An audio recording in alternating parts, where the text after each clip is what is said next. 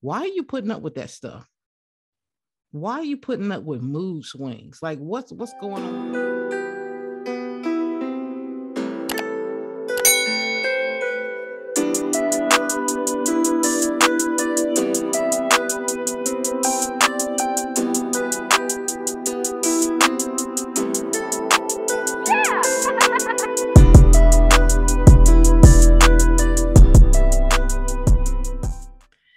Hi, this is Toni Henderson Mayers, television, radio, relationship expert, author, and entrepreneur, known as Wise Courtship all over social media because of my book with a three step system that will help you determine the true character and the true intent of your love interest. Wise Courtship is not just a book, it's wisdom, it's guidance. It's what I call the Wise Courtship philosophy. So, anytime you um, see me on stage, anytime you see me on television, hear me on the radio, or even get my book, you just subscribe to the Wise Courtship philosophy. And all the philosophy is is individuals who are committed to having whole relationships in their romances, their families, their friendships, and even in their businesses. So, welcome, welcome, welcome. I am so glad to be on another podcast with you. And by the way, if you're just listening to me on all various podcast platforms, you could be looking at me too. You could be watching and listening on Spotify. On Spotify, you can see and hear me at the same time. But of course, too, you can um, join my YouTube channel and you can get snippets of what I've said here on the podcast. But on Spotify, you get it all, honey. Mm-hmm. So, anyway, I want to get right into this content um, today, and I want to share uh, this letter with you. Um, we're basically going to be talking about a boyfriend that's a cheater. Okay. Mm-hmm. That's what we talk about. So you might want to check this all out. And uh, it's a not a long letter, but it's a little lengthy, you know. Um, and I want to make sure we get it all in. But listen, if you want to send in your relationship questions, you can send it to me by emailing me at info, I-N-F-O, at wisecourtship.com. That's I-N-F-O at wisecourtship.com. And listen, follow me on all social media platforms. I'm on Twitter, I'm on Instagram, honey. I'm on Facebook. I'm all over the place as Wise Courtship. and in some cases, as Toni Henderson Mayers. And also, I need to thank um, Matthew Evans, um, and you can follow him on Instagram, and also Hijack, aka Sean Mayers. Uh, he does the beats and the music, and Matthew Evans did the singing of my theme song. And if you want to hear the theme song, if you're watching me on YouTube, honey, you getting that funky beat before you come on my YouTube channel. Mm-hmm, be getting down, yeah. But if you want to hear my theme song, you got to come on to Spotify or any plat- um, any podcast platform. You'll get a chance to hear that theme song. So, without further ado, I'm going to bring up this letter and share it with you. I'm going to read it with you. I hope y'all got y'all little um, wise courtship thinking caps on because this is something else right here. My boyfriend and I's two year anniversary is coming up in less than two weeks. I would say we have a healthy, happy, strong relationship overall. He is not always the most communicative person and he has his mood swings, but all in all, we have a great time together. And I would consider our relationship a mature, loving one. At the very end of May, I found out he cheated on me. He took a girl home from the bar with the intentions of having sex with her. There was a makeout section for multiple reasons. The sex didn't happen, supposedly. We have talked for hours and hours, days and days, evaluating our relationship. He cried. I cried, to say the least. He was very responsive as far as every time I bring it up or have another question. He is patient with me. He swears this was a one time thing Yes, he was drunk, not an excuse. And we both had talked about that. We have decided to work things out and try to get past this. I am really trying actively to trust, and most days I think I do. And then I get a bit of flood of mistrust every now and then. I just don't know how to move past it. I am trying and I feel like he is too. But I don't want to get my heart broken again. And I definitely do not want to be with someone who cheats on me. We are in love and care very deeply about each other. It just sucks because I feel like he's ruined something we had that was good and I trusted in. Do you think this really could be a one time thing?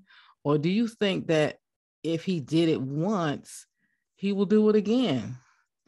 So I wanted to share that letter with you and I wanted you to see the letter. Um, I copied and pasted onto a Word document so it'd be a little easier for me to read. But um, I wanted to read that out loud to you. And since it was a little longer, I wanted you to see the wording and all of that kind of things. But uh, you know me, when I do this these wise courtship things, honey, I got to break down the letter. Okay, we got to break it down. Let me just um scoot this letter over here. So this way, if I got to refer back to it, I can. Okay. Mm-hmm. All right, so let's get into this letter. I'm trying to squeeze this over so I can like refer to it if I have to. I wrote down a couple of little notes, some things that I picked up, and I wonder if you guys picked this up too, because you are Pete. Whenever, whenever you follow me, with wise courtship whether you read my book especially if you read my book. See because when you read the book you'll know where i'm coming from. You know my thought process process and where we're going. And i want you to get that thought process as well so that you will be successful in your relationships. Because when i give advice i'm giving it from a, a love perspective. I want you to win. I was watching um a relationship expert because I love to hear people speak. I love to hear them talk. You know, I'm like just a big cheerer. And in the relationship realm, uh, for those who do the same thing that I do, I mean, I got a whole lot of friends, a whole lot of them, and we got a lot of male counterparts that give relationship advice too. But this one guy, man, he was giving relationships.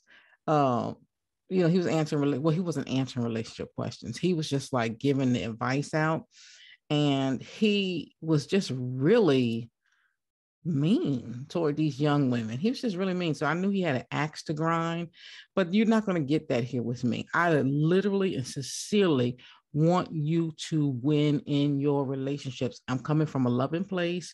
I'm coming from a successful place as far as in the area of relationships, but also I'm not um blind um or or exempt from being have been hurt before, and have had troubles and problems, and it could easily happen again. Okay.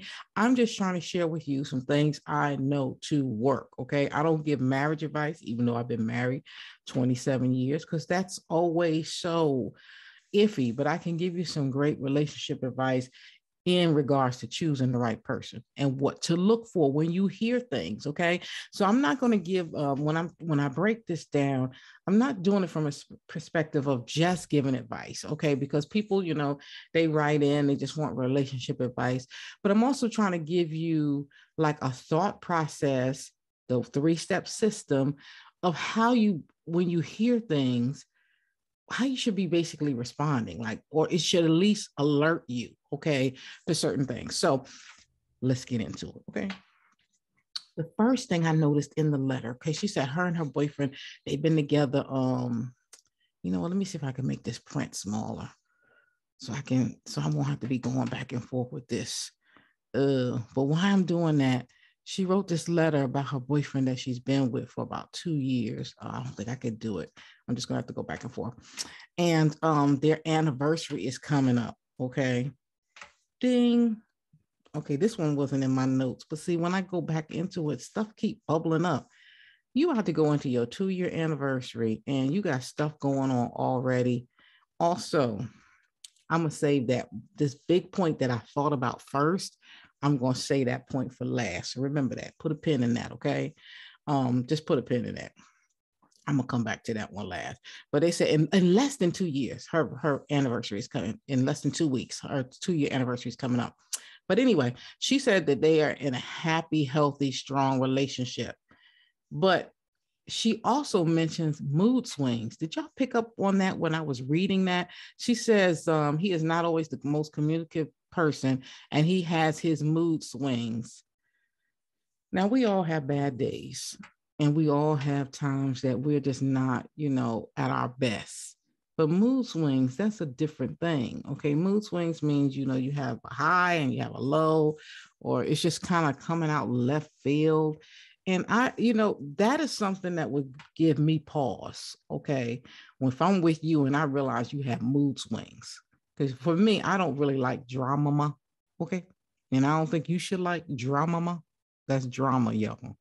And I, I just don't get it with us, especially women, but men too now.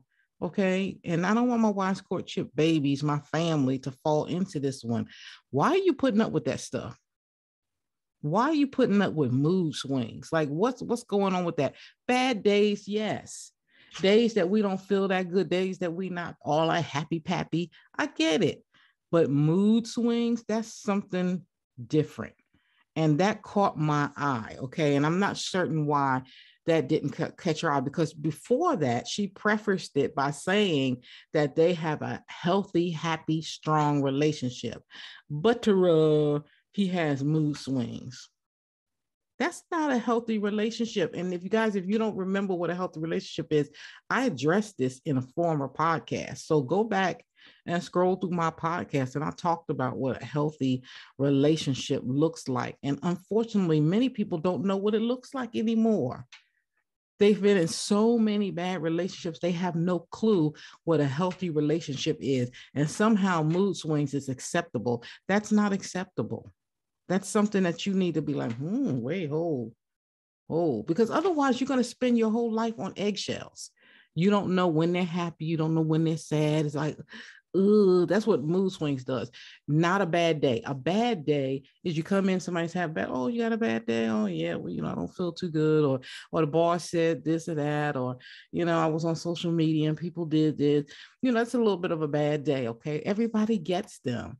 But a mood swing causes you to walk on eggshells, meaning you don't know if they're going to go off or not. You don't know if they're going to be mad at you. They're going to throw a hammer at you. You don't know. Okay. That's a mood swing. All right. So that's something that would give me pause.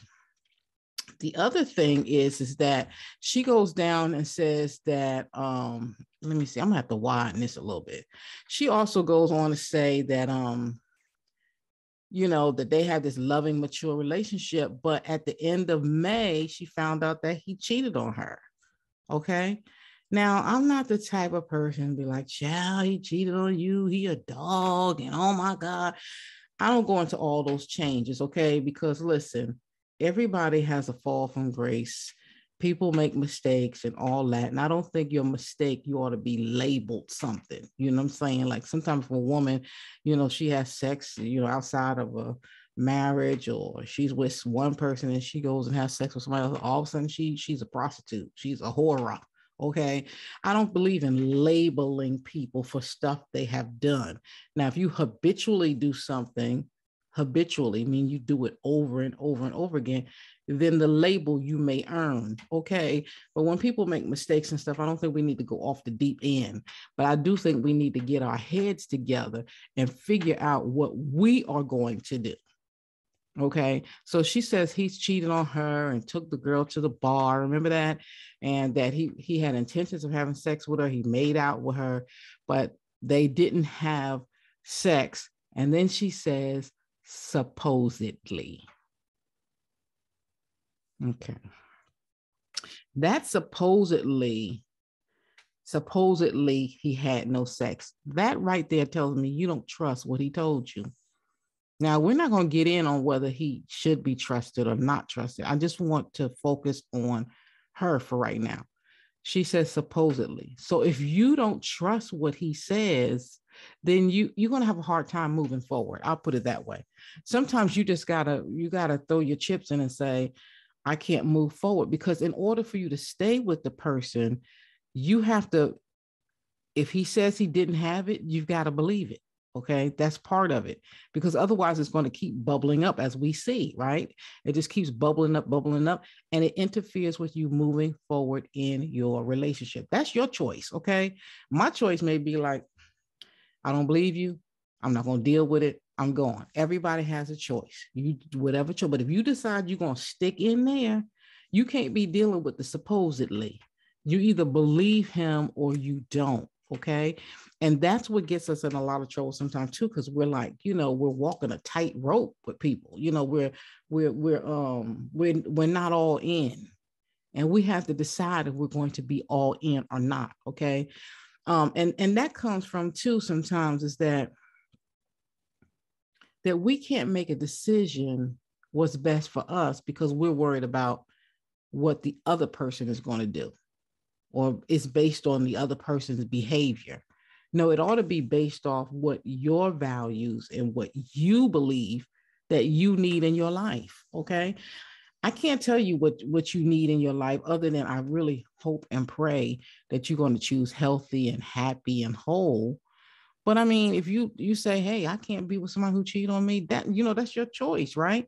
You make the choice and you stick to it. You don't change your mind based off what somebody else is doing. But if you're the type of person say, "Hey, I'm going to stick in there and we're going to work it out," that is your choice. You don't change your mind based off what the other person is doing, unless you know your life is in jeopardy or somebody else's life in jeopardy. That's different. But you get what I'm saying.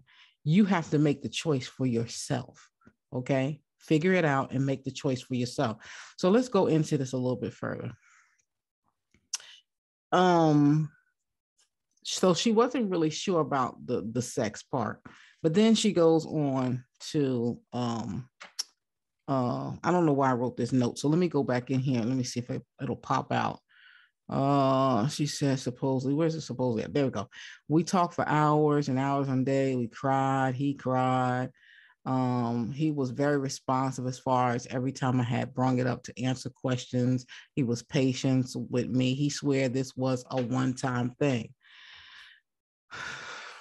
This is something that I think um, people who deal with cheaters have to to deal with, whether it's first time or not. I will say this that for most people, maybe 90 something percent say it's the first time and they lying. It's not the first time. But for the sake of those, there are some people, it is the first time. It is just absolutely the first time, and they just got caught out there. But I tell you, it makes it bad for the people that are it is the first time because there's so many people they say it's the first time and it is not the first time and this is why you need to know in your mind what you want to do what can you live with if you can't get past um the fact that they were with somebody else and you can't believe what they're saying, don't stick in there and then make them suffer, you suffering, and you know you don't believe what they're saying. If you don't believe it was one time, then move on. If you believe it is one time, then you need to go ahead and and and be all. I hope I'm making sense because I don't know, maybe because I'm sniffing and all that kind of stuff right now today. The, the the passion is not there on today with this episode, because maybe because I've talked about it so many times. But when you make a decision, it ought to be something that's best for you. You know what I'm saying? And I'm going to tell you why it's just best for you in this situation when I get to the last point. Because once I make this last point, that last point changes what's the best for us okay? Um but but but she wasn't sure if this is the one time. You could tell in this conversation all right that she's not sure if it was one time.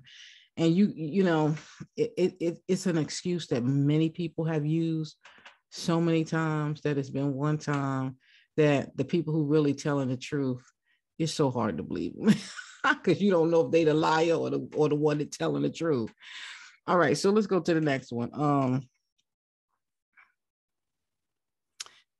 she asked, um, so she's, you know, they try, she's trying to get past this. It's really hard for her to get past this. She doesn't know what to do. Um, but toward the end, she asks a question. She says, um, it sucks because I feel like he ruined something we had that was good and I trusted in. Do you think this really could be a one time thing? Or do you think that if he did it once, he will do it again? I know that it's very popular for people to say if they did it once, they'll do it again. But that's not necessarily true. There are people who totally reform from their mistakes. Okay. There's some people who take drinks, become alcoholics, and they get off the wagon and they don't make the mistake again. Okay. Some people fall down several times, but then finally they do it and they just they stop. Some people on their first time go cold turkey. They, I'm not gonna smoke anymore. I'm not gonna, you know, um, eat all this sugar and get overweight. And they stop and they they just don't do it again. So I don't think you can take you know there may be a lot of people that do it over and over again but you cannot lump everybody into the same box okay? Let's not do that. Let's not do that. Um, but you'll go on some platforms honey and women be like all men are dogs. But and that's one thing i don't get. How come all men are dogs but you you got time to sleep with them the, you know especially the one that's calling them a dog. Yeah that's a selah moment. What i call a selah moment means we need to stop and think about that thing you know people come up with these crazy advices i was watching that guy again and he he has such a poor opinion of women but yet you told him you would sleep with all of them I just don't get it. Like, if you think a person's a dog or you think a person's no good, why would you want to sleep with them? But I digress. Okay, let's get back to this right here. So, you, it doesn't mean that the person's going to do it again. Look, I want to go ahead to this last point because I don't, I really don't want to hold you. The last point that I want to bring up is that she's going through all of this with her boyfriend. Mm-hmm. Some of y'all don't get it. You know why? Is because we live in a world now where everything's so topsy turvy. I'm about to go real old school on you, but some stuff with old school really, really works. That's why I get really irritated when people dismiss millennials, when people dismiss seniors, when people dismiss parents, when people dismiss teachers. People have their place. And, and anyone can bring some wisdom. Everyone brings something to the table and no one should be dismissed. And old school teaching should not be dismissed. Yeah, there's some things. There's some things like you're like, oh gosh, I don't know. But there's a whole lot of things. The reason why it was put in place is to protect you. Now, some people are not good at communicating it. I get it. Some people are not good at communicating it. But certain things are good to be put in place my old school teacher. And I said, she's going through all this with a boyfriend. A boyfriend, not a husband. And I've taught this over and over again. We've got to learn the difference between a boyfriend and a husband. What do boyfriends get? That um that um what does a husband get that a boyfriend does not get? What does a wife get that a girlfriend does not get? And for some people, it's the same for them. It's the same it's the same.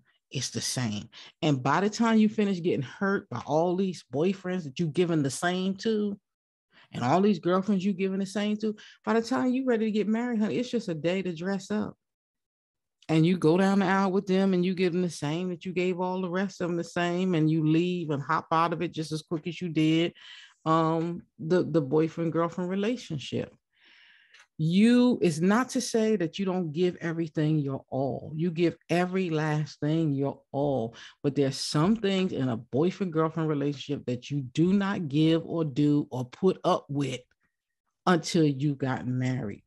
And listen i'm not saying when you get married now the person can cheat on you and you can deal with these headaches and heart no no no no no no no what I'm saying is, is that when you go through this boyfriend girlfriend period, you need to use the wise courtship philosophy. You need to use the three step system so you could pick the best person for you. And you will go through less of this. Why is that important? Because every time I go through drama, I bring that baggage with me to the next relationship. And when you bring it to the next relationship, it starts that relationship off on the wrong foot. It may seem like it's on the right foot, but it's not on the right foot. Anybody got a cousin or a little baby or somebody put the shoe on the wrong foot, honey, and they just walking like it's on the right foot until somebody points it out and said, it's on the wrong foot. Okay. or until they feet hurt or until they fall. All right. And then you got to fix it. It's the same thing. you want to get on the right foot. And when you are dating and you have these boyfriend girlfriend relationships, some people get it so right on the first time. It goes to matrimony, they stay together and they're forever. But some of them, it's a learning experience. Okay. And so when you're sleeping with them and you haven't used a three step system, you so blind and you so in your feelings that you can't see that they're a hatchet murderer. You can't see that they're cheating on you. You can't see that they're a liar you can't see none of that or you can't think well and so now you running miss toni help me because i can't think well. Why? Because i was sleeping with them and i was i'm all in my feelings. I can't use my brain. It's hard to use your brain and your growing at the same time. It's real hard yeah. Believe me it's hard. Okay And so I need for you to use the wise courtship three-step system. And, and each person that you are with, you are they are you are interviewing them to see if they can make it to the finals. And the finals is to be your spouse. And that's who you want to give your all to. That's who you want to spend your, your time with. That's who you want to give your body to and have all your babies with. Okay. You want to do it because you made the right decision at the best time for you. Is no craziness going on. It may not be perfect. It may not be 100%, and maybe they even fooled everybody, but at least we know they fooled everybody, okay? And when they leave, you get your money and get your bag and move on, okay? And say, Lord Jesus, help me. Let me read this wise courtship book again and do it right. Okay. But you're not going through person to person to person to person. And every time you do that, it strips something from your heart. It changes who you are. That's why you got women running around here bitter. That's why you got men running around here bitter. Okay. They'll sleep with people, but they really don't like men. They really don't like women. Okay. Because they've been hurt before. And so I want you to get this thing right so that you won't have to deal with the stuff that I've just been reading about. You'll have a sharper head like, okay, no, I ain't going to deal with this. Not with no boyfriend, honey. I ain't going to be dealing with this goodbye. Let me go with somebody else. Why are you trying to even work it out? Why are you even trying to go through all them changes? These are major flaws. If you, as a boyfriend or girlfriend, can do this, that is a major deal breaker to even make it to uh to a marriage. Oh no, because if you do it at as a boyfriend girlfriend stage, you darn sure gonna do it at the marriage stage you ain't gonna change just because you put on some fancy dress or a tuxedo and put some rings and y'all danced and partied and held up a glass of champagne. You ain't gonna change, honey, because what happens when you get married to somebody, you get used to them, and boy, do you get used to them. And you you'll be right out there doing some of the same stuff you did as a boyfriend or girlfriend. I got to go. But you can visit me on the web, honey. at www.wisecourtship.com. I'm all over social media um, as Wise Courtship or Toni Henderson Mayers. All you have to do is Google me. Just know that I love you and there's nothing you can do about it. And remember, I help you detect a lover worth living with. Bye. Are you subscribed to the Wise Courtship philosophy? Then you need to get your Wise Courtship gear at the Wise Courtship store. Go to bit.ly forward slash Wise Courtship store. All the letters are lowercase. They make amazing gifts from children, adults, men and women, jewelry, hats, cell phone cases, t shirts, and more. Represent Wise Courtship by going to bit.ly forward slash Wise Courtship Store.